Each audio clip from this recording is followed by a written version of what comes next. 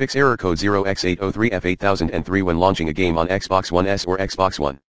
Solution 1. Verify current status of your own subscription service for the game, e.g., Gold subscription, EA Access, etc. Note, games with Gold titles require an active Xbox Live Gold subscription on the account that originally redeemed the games with Gold offer. And, to renew your subscription, please follow the given steps below. 1.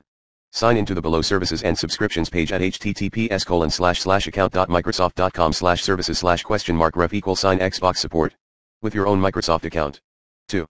Find the subscription you want slash need to renew in the list, select renew, and then follow the instructions.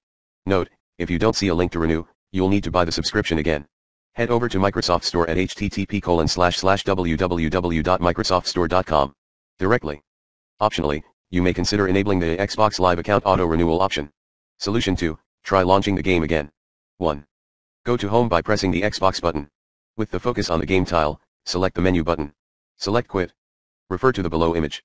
Wait at least 10 seconds, and then try launching the game again. Solution 3, restart your console. To resolve this problem, try restarting your own Xbox device. 1. Double tap the Xbox button on your controller to bring up the guide. 2. Scroll down and select settings. 3. Select the option restart console, and then select yes to confirm. After your console has restarted, sign in and try launching the game again. Other voices, 1. If you're playing some kinda a preview version of program, uninstall it and get the official build or stable version installed. 2. Similarly, uninstall the troublesome game and reinstall the game later.